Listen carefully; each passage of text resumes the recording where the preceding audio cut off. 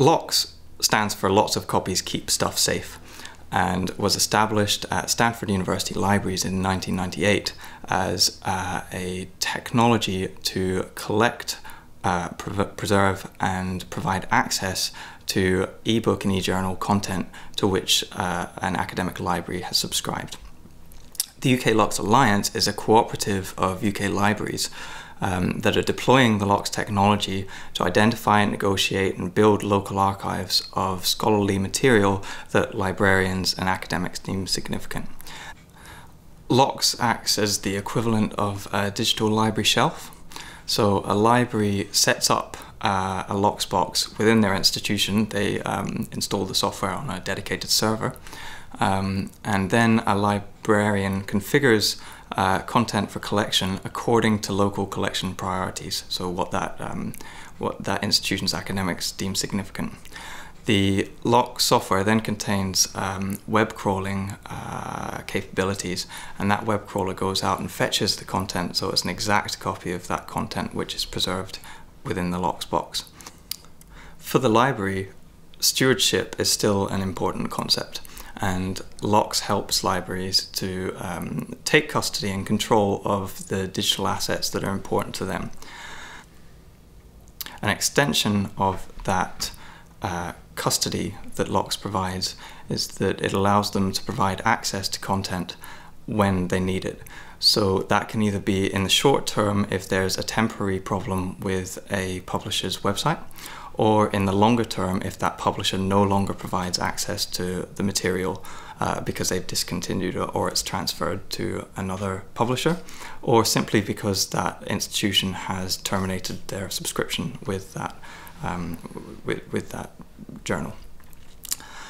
So LOCKSS allows the library to continue to provide access when needed.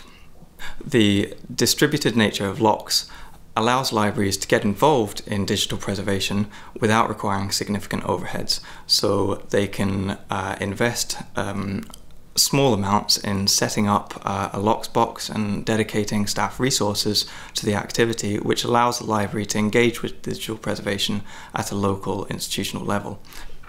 The distributed approach of LOCKSS avoids the reliance on a single institution or a single source of funding and allows the community as a whole to avoid those problems and so it allows libraries um, to participate, to take advantage of those local collections uh, while avoiding um, potential points of failure. EDINA provides a variety of support for the UK LOCKSS Alliance members. Um, it provides first-line technical support, so in the event that there's a problem with an individual LOCKSS box, um, we provide a help desk service for that. We're working to build and improve on uh, current levels of documentation. Um, we provide a monthly roundup trying to keep um, members abreast of developments in the field more generally. We also undertake software development, so at the moment we're looking to um, to improve the user interface and usability of LOCKSS as a whole. And we also undertake content development, that is, negotiations with publishers or content testing to make available new content for preservation. As for our hopes for the future, we've uh, established a UK LOCKSS Alliance steering committee and uh, that allows the community to take some ownership of um, the UK LOCKSS Alliance and the direction in which it's heading. In terms of priorities for members, uh, improved access to content and an increased range of content um, are key.